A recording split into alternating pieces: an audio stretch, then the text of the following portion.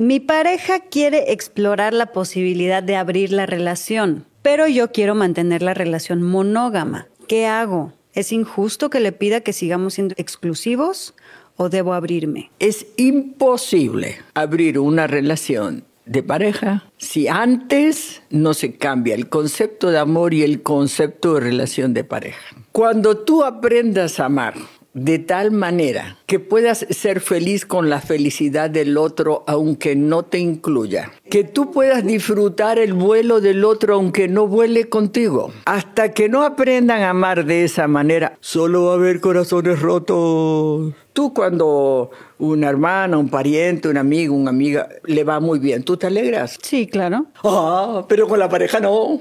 Si a él le va bien, sintiéndose bien, coqueteando con otra, no, yo no me puedo sentir bien que él se siente bien, porque no me incluye, pero eso tiene que ver con el amor romántico. Eso tiene que ver con el sistema monogámico. Qué lío de conceptos, madre mía. Una cosa es disfrutar de ver a tu pareja feliz, y otra muy distinta es disfrutar de ver cómo se come todo lo que se le pone a tiro. Si la felicidad estuviese en el sexo, las prostitutas serían las personas más felices del mundo. Y dominar una pulsión temporal como puede ser la atracción sexual hacia una persona te hace crecer en virtud y en fortaleza, lo cual te hará madurar y te preparará para las dificultades de la vida y por por lo tanto serás más feliz. Ser incapaces de dominar nuestras pulsiones nos esclaviza y nos hace buscar constantemente la gratificación instantánea. Después nos sorprendemos de tener una sociedad así de infantilizada y débil. Por lo que mi recomendación es la siguiente. Si tu pareja te dice que quiere abrir la relación, le abres, claro. Le abres la puerta para que salga de tu vida para siempre, por tu propia salud mental. Si te ha gustado el vídeo, por favor, compártelo y sígueme. Un abrazo.